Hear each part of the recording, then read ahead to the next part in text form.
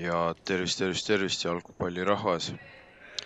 olete sattunud siis Kuulbet saali liiga üheteistkümnendale voorule. aga pikk ette hästi. kui ilusti avanes, oi, milline löök. Viktor Rušin ei hakanud lööma, kui ääre peal löök ja olemas. milline värav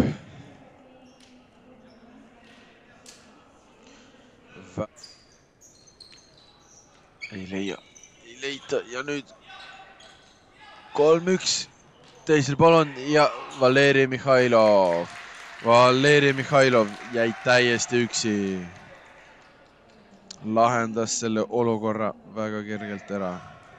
Ning Valeri Mihhailovi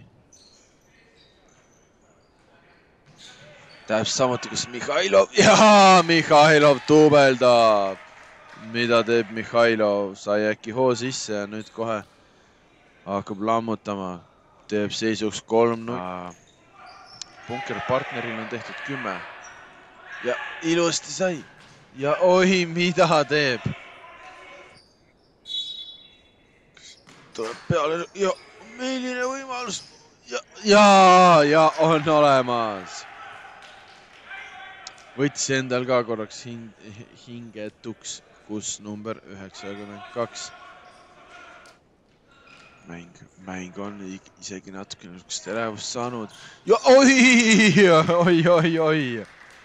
kas mulle tundub, et see oli sihuke nagu kogemata värav, aga.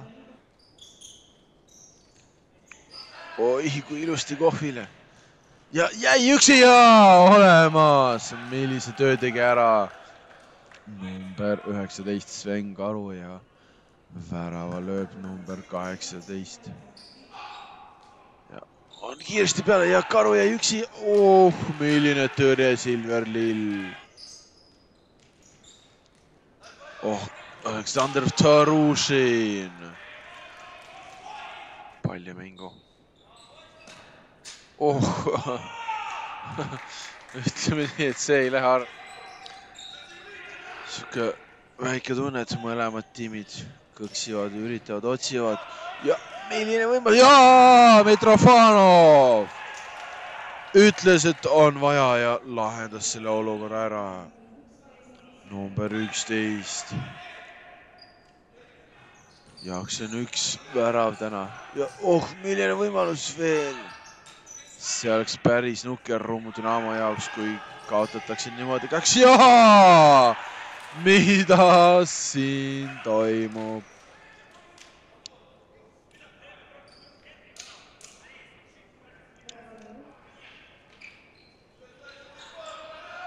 On võimalus ja jälle Silveril päästab ja tuli ära. number kaheksa, Karl Sassian.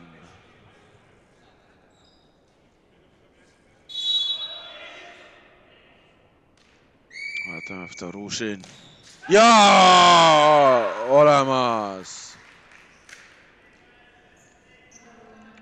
number kuuskümmend neli, Aleksander, kas võtad ette või? oi, tegi päris ohtlikku, aga nüüd on üksi.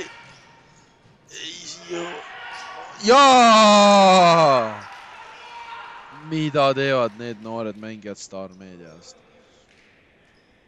värava lööb number kuuskümmend kaks, Kirill Timofejev ja see on, hakkab tasakesi eest sõudma Jõgeva Wolves teeb veits vigu, aga nüüd Karu tuleb, kas saab ja vastab neile, vastab neile. number üheksateist. see. vaatame, meie ja olemas, olemas, olemas. see on nüüd on veel võimalus ja Pähko päästab või ei päästa, jaa. saab väravaga number kaheksa, Roman Maršev. kui pannakse, siis kohe lõpeb ka. ja seisuks on üheksa-viis, Jõgeva hullus võitles viimseni